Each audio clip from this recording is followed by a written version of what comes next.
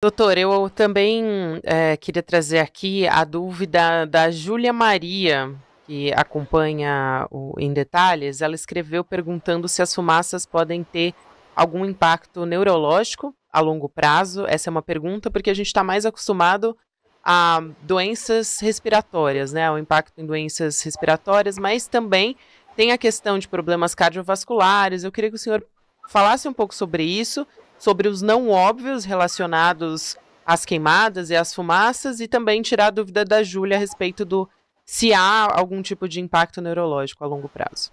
É, se for mantido isso, felizmente, como eu disse, é de curta duração, mas a poluição que permanece nas nossas cidades está relacionada a duas coisas que, estão, é, que são objeto de estudos. O primeiro, baixo peso a nascer.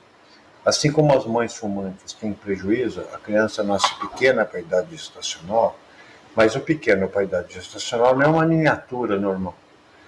Ele simplesmente houve um prejuízo no desenvolvimento é, de alguns órgãos e existe mais relação com problemas neurológicos no, no futuro.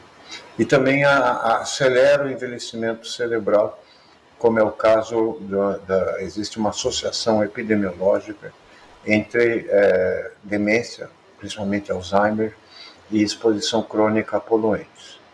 É, os poluentes que a gente inala, eles entram no nosso cérebro. Do pulmão, eles são é, exportados para diferentes órgãos. O cérebro é um deles, que entra não só pela circulação, mas também pelo epitélio, quando a gente sente cheiro, é através de um epitélio especial que tem no nariz e transmite através do nervo olfatório para dentro do bulbo olfatório que está localizado bem dentro do nosso cérebro.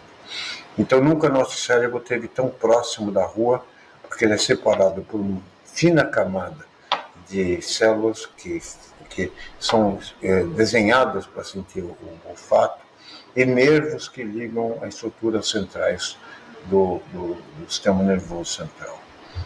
Então, é, como eu disse, esse, esses efeitos são de longo prazo, mas para fetos existem evidências que se estruturar um tempo razoavelmente grande, semanas, por exemplo, nós poderemos ter efeitos sobre a, a, o peso fetal. E explico isso é, porque durante as Olimpíadas de Beijing houve uma interrupção das atividades industriais e circulação de automóveis para que a Olimpíada ocorresse. E o que aconteceu foi que as mães, houve uma melhora do peso nascer, menor risco de peso nascer no momento que, principalmente no primeiro trimestre da gestação, ocorreram nesses, nesses períodos onde o ar da cidade tinha ficado mais limpo. Então, é, essa como é a mesma coisa do fumo.